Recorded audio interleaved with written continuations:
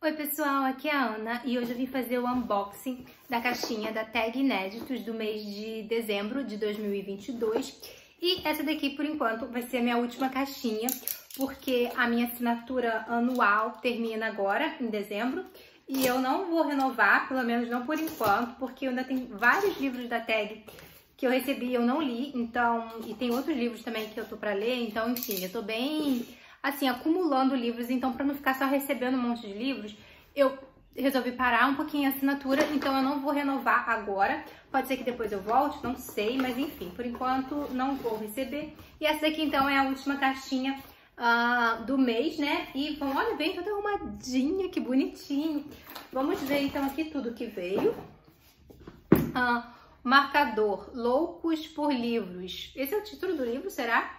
Não sei, mas é interessante. Deixa eu ver, tem uma frase aqui. Às vezes, mesmo quando a gente começa a ler pela última página e acha que sabe tudo, um livro encontra um modo de nos surpreender. Então, vamos ver aqui o livro. Nossa, bonito, né? Assim, tipo, preto, com esse caça colorido. E vamos ver aqui, então, aqui a revistinha que eu já mostro. Sim, o título do livro é Loucos por Livros. Que legal, gente. E parece um cupido, talvez. Muito interessante, achei bonito. Uma das minhas autoras favoritas, quem é? Emily Henry. Ah, quem disse que é uma das minhas autoras favoritas foi a Colin Hoover. Então, achei bonito. Ai, que bonitinho. Olha esse lilás com os negocinhos de cupido. É um cupido, né? Bom, parece, só de olhar assim, que talvez duas pessoas que gostem de livros vão se apaixonar. Talvez o cupido flash aí, duas pessoas, não sei.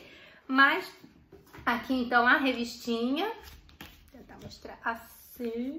Eu nunca consigo mostrar essa revistinha porque ela é tão, tão molinha que não dá muito pra mostrar. Essa aqui então é a autora, né? Deve ser, sempre tem entrevista com o autor. E aqui na frasezinha da, contra, da parte de trás tem coisas de fato acontecem, mas às vezes se você...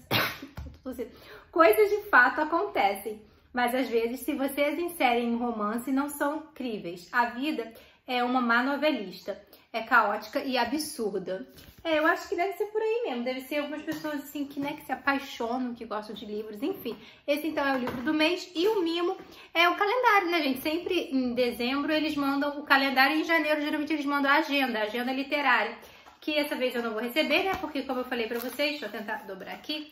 Porque como eu falei pra vocês, não não vou renovar agora, mas é bem interessante, bem bonito. Olha, gatos coelhos, sapos, animais, né? Uma coisa bem legal. Então é o calendário do mês que vem, do ano que vem. Olha que bonito, gente. Eu amei a ilustração. Parece uma coisa meio Alice. E ela é bem lisa, a, o papel. É um papel diferente, não é papel, assim, fevereiro. Bem uma coisa meio conto de fadas, assim. Olha, que coisa fofa, gente. Parece um... Ele é, ele é bem liso, assim. Parece, não sei, meio que... Ai, ai é um, um bem lisinho, assim, sabe? Meio brilhante, assim, um negócio bem bonito mesmo, material bem, uma qualidade bem legal da folha. E eu achei, eu tô achando lindo essas ilustrações. São todas, eu acho, de contos. Olha, esse aqui parece ser Don Quixote, esse daqui parece ser a Revolução dos Bichos. Eu acho que é de coisa, né? De cada um de, de, de livros famosos. Lindíssimo o calendário, amei. Bom, então essa foi a caixinha da Tag Inéditos de dezembro. Vou ficando por aqui, beijos, até a próxima.